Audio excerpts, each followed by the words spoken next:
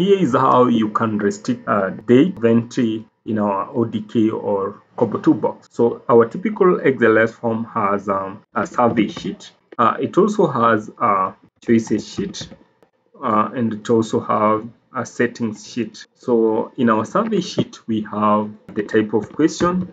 Uh, we also have the variable name. We also have the label and we also have the constraint. Uh, this is a constraint. I think uh, you need to check the spelling. This is a constraint.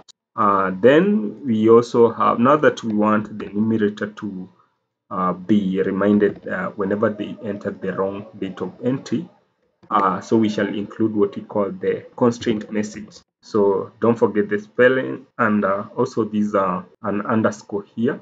So the type of question is the date the variable name you can give it uh, any name. Uh, the label is date and this is what will be displayed on the screen. Then on the constraint we shall apply the formula uh, open bracket. Uh, this is a period of full stop uh, we you will call it uh, greater than sign. Then we have is equals then date. Then we open the bracket. We shall use the single quotation speech mark and uh, we have maybe the range let's give the range between 2020 uh, first of uh, January uh, 2020 to maybe 2023 first of January. Uh, so I will uh, close with my closing quotation speech and also the double closing brackets because we opened using the two here. So we shall close using the two. Now we go to our range here.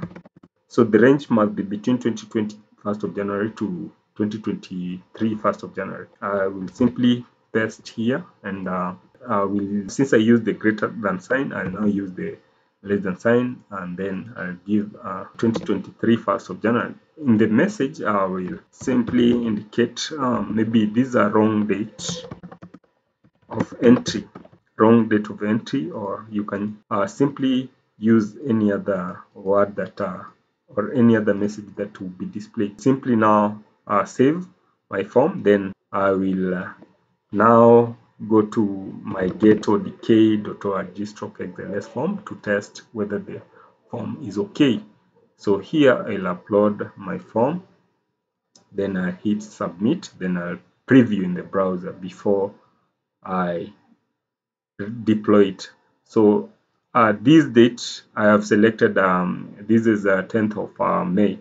It means that it is outside the range. So automatically uh, the message here is wrong date of entry. But if uh, simply uh, maybe select 2021 this is Wednesday 6th uh, of October then there is not an error message here displayed. It means that my form is okay and it is ready to be to be deployed I mean uh, so you can, for those who want to deploy, uh, to use the ODK, you can download here the X form.